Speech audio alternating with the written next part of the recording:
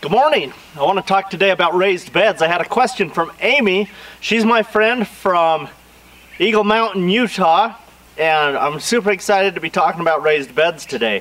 I've put this video off a little while, and I did private message Amy to tell her kind of what to do about the raised beds, how deep they should go, 6 inches, 12 inches, you know, what is kind of the best thing for a raised bed.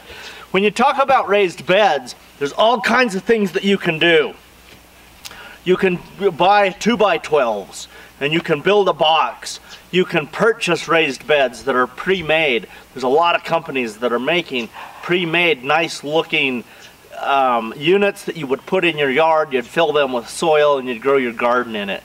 Uh, farmers build raised beds. They have a tractor and it pulls an implement that pulls the dirt from the outsides and it pulls it in and out the back of the tractor as it's going along down through the field it forms a big beautiful raised bed.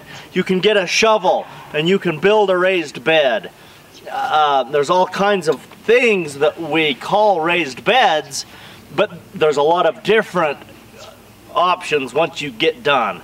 Once you actually get done building the raised bed they can look very very different um, so when somebody says, tell me how to make a raised bed, there's 50 different things you could build that could be a raised bed.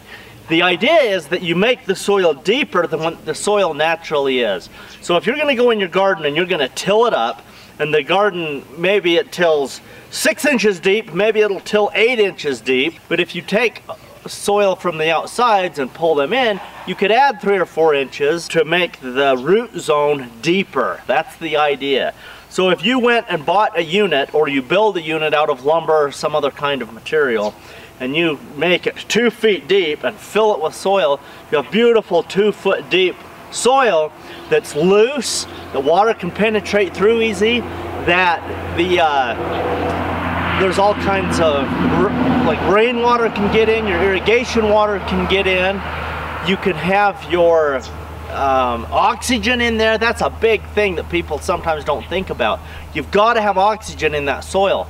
And by building raised beds with that are very deep soil, that's loose and, and you've got air in there, you get oxygen into that soil. That's one of the main reasons we till the soil is to get oxygen in there. So when you're building a raised bed, there's a lot of technical things behind the idea of a raised bed. You want to put a lot of compost in it. Here's my composter right here, full of compost. It smells beautiful this morning. And you want to get the compost in the soil. You want to get oxygen in the soil. You want to get your plant roots down in that soil so they can grow beautiful. So when you ask me, um, I'm going to do raised beds, you could be thinking of one thing, I could be thinking of something completely different but they're all raised beds and it's all okay. Whether you purchase some kind of a unit and you're gonna put soil in it, or if you're using existing soil and you're gonna pile it up and make a mound so you have a deeper root zone, whatever you do that um, stacks up soil so you have a deeper root zone and you add more oxygen by doing that. So raised beds are an awesome way to go. They're good because you can get great plant growth. Just remember, as you build your raised beds, you want to get as deep a soil as possible. If you can go 12 inches with a with your soil that's nice and loose and tilled, that's awesome. You're going to get really good plant growth with that. If you can go 2 feet, 24 inches, that's wonderful too. Um, if you're only going 2 inches, that's not a raised bed. The idea of a raised bed is you stack soil up and, and you bring the soil from the sides in so that you get deep root zone. Okay, when we're talking about raised beds, it's an awesome thing to understand that a great big pot like this give you the same idea of raised beds. They're up out of the soil. The soil temperature will be a little bit warmer than the soil temperature if it's just down in the ground. So you get the soil up. Um, these are black, so they will absorb more heat. The root zone will be warmer. So in the heat of summer, we may need a little bit of shade for these pots. The beautiful thing is we can move these pots to the shade if we need to if we feel like they're getting too hot. The plants are thriving. They're doing really good right now. We have a lot of pea pods on here. I've been eating these. This is Mr. Big Pea. We tasted them just the other day. But the idea of the raised bed is to get the root zone um, deep and fluffy. And this entire pot is deep and fluffy. Before I planted these, I tilled that soil up, dumped the pot out on a piece of concrete, and then you just scoop it back in. It tills it up, it fills it with oxygen so that the aerobic microbes are working on the organic matter that's in there. You add a shovel full of compost, dig it in, move it around so it has good nutrition, and then you plant your seeds and you water it, and you watch it grow and you watch it thrive. If you have good compost that's going to have a good release of nitrogen, then you're going to be pretty happy with uh, the plant growth you get. Look at these pea pods. Look how huge they are. I love Mr. Big Pea. We've got our green onions over here. We have um, tomatoes, uh, potato plants. Things are doing good.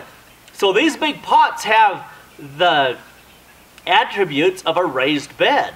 Uh, the beautiful thing about the pot is we can pick these up and move them. I just stab them with a, a hand truck dolly, um, tip them a little bit, and I can move them around wherever I would like them to be. I like these ones right by my door. Every time I walk in and out of the house, I can see my plants. They're not off far away in a garden somewhere where I don't know where they are.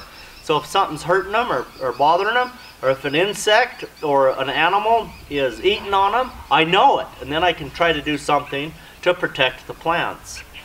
Uh, so when you're building raised beds, think of giant pots and uh, potting soil that you can just buy from the store. It's super, it's simple, and it's easy to do.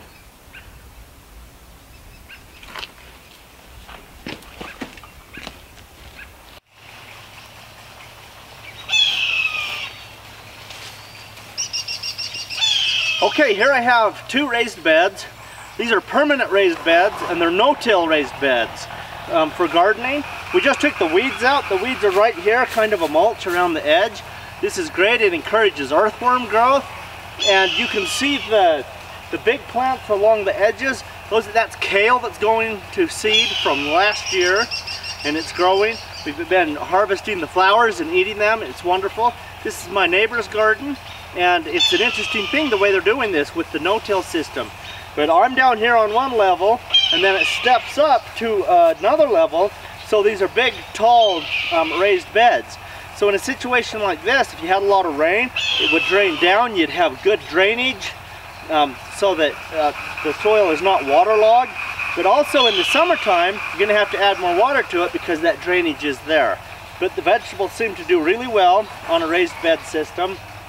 And it'll be exciting to see how this goes. We just put some uh, seeds in there this last week and a few um, transplants. And the transplants are growing and they're doing good. And so this is a neat thing because we have the kale from last year, the overwintered. It's going to seed now and uh, we're able to still eat the good leaves. The leaves are still perfectly good. The flower tops are wonderful. These make an awesome uh, stir fry. They're yummy. They're tender. The leaves are perfectly awesome. They're a good green. You can eat these raw, you can cook them.